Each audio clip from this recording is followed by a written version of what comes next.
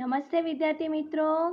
जैसे मैंने आपको चैप्टर पाँच समझाया, उसका पार्ट टू है। यहाँ पे सारे उल्टे शब्द लिखे हुए हैं। हमें उसके सही शब्द बनाना है। यहाँ पे लिखा हुआ है योगा। तो सही सही उत्तर होगा गाय उसी तरह दूसरे चित्र में ऐसे लिखा है झरसु तो ये चित्र दिख रहा है सूरज का।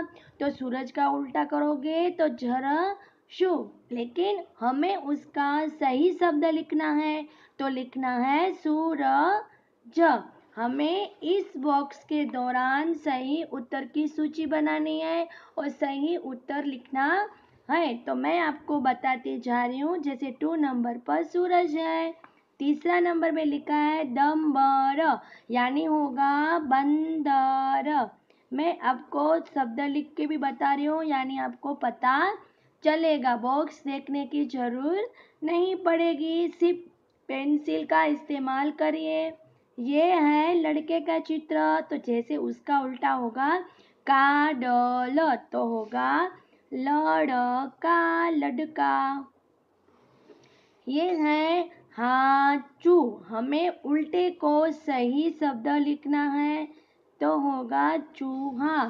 ये चित्र है एनक तो हमें इसका सही उत्तर लिखना है न एक तो ए न क ए न क। हमें इसी तरह शब्द लिखते जाना है, जिसे इधर बताया उसी तरह आपको भी लिखना है। अभी मैं सिर्फ़ आपको बता रही हूँ तपंग यानी होगा पतंग।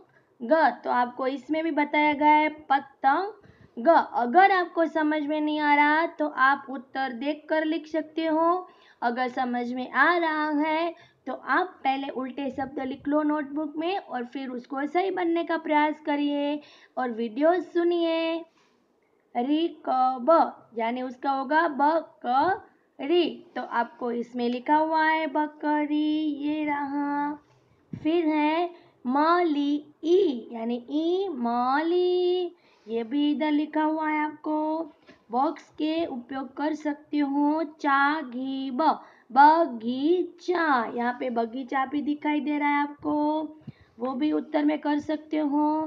तवा द दवा त गौ गौ रई या सब उत्तर आपको इसी बॉक्सर के दौरान मिल सकेगा तो आपको इस एक्सरसाइज मिलेगी उसमें आपको प्रैक्टिस करनी है। Thank you students